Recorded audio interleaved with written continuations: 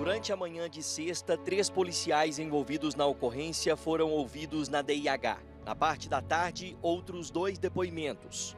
Um deles, talvez o mais importante até aqui. O jovem Gustavo Alves, que dirigia o carro, mudou parte da versão dele. Depois de falar com o delegado, ele conversou somente com a nossa reportagem, mas pediu que não fosse gravado. Ele está muito assustado e traumatizado com tudo o que aconteceu. Com exclusividade na reportagem investigativa, nossa equipe traz três novidades neste caso. Três novidades exclusivas.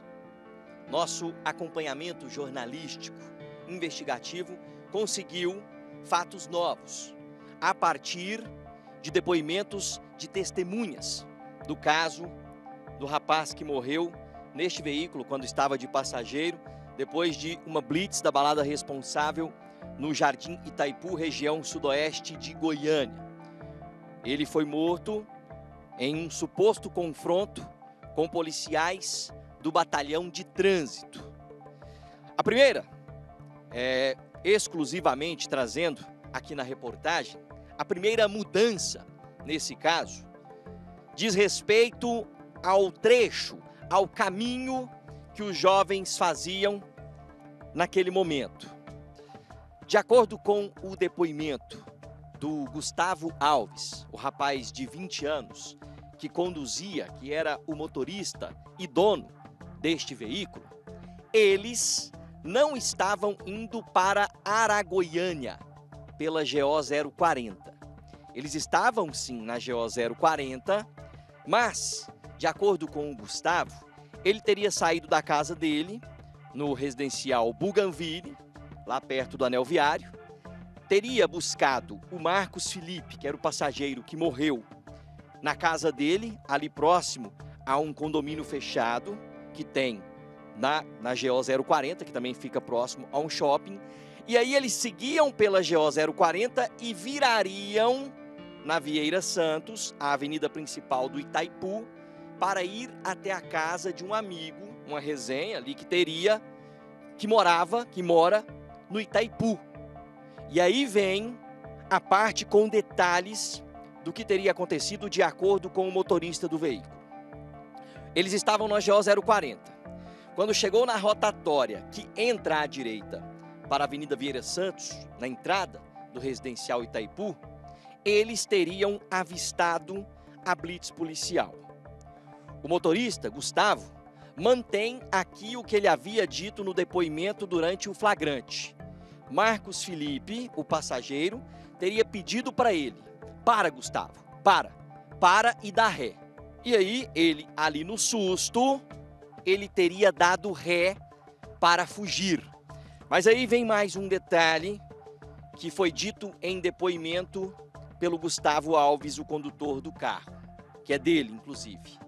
Esse gol, bola, segunda geração, ano 1998, estaria com o documento atrasado. É um carro antigo, 25 anos já de existência, só que tem bastante som.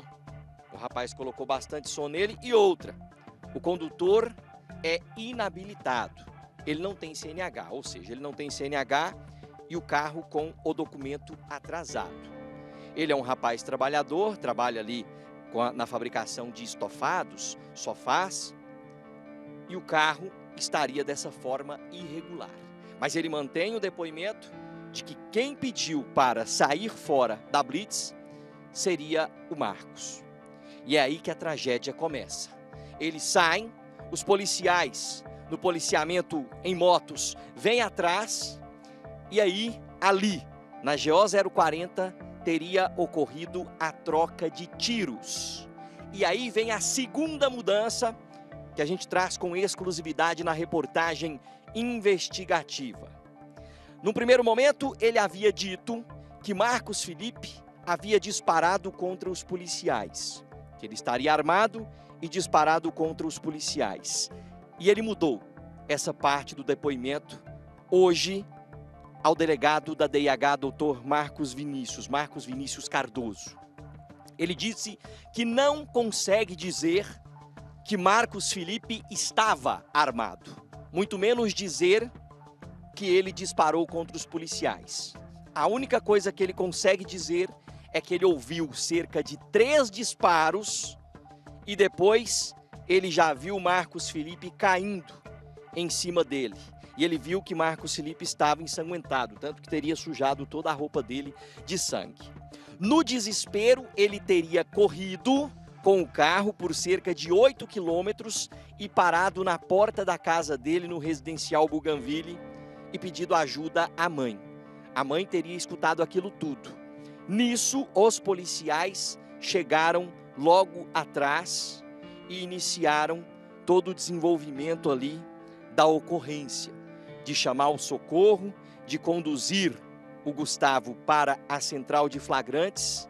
Então já são duas mudanças. A rota, eles não iam para Araguaiana, eles entrariam no Itaipu, por isso passaram ali pela balada responsável. Ele não sabe dizer se Marcos Felipe estava armado e se sequer deu tiro contra os policiais. E vem também mais uma mudança que a gente teve acesso com exclusividade. No BO, na primeira ocorrência, os quatro disparos que teriam sido feitos pela Polícia Militar, por policiais do Batalhão de Trânsito, teriam sido somente de um policial.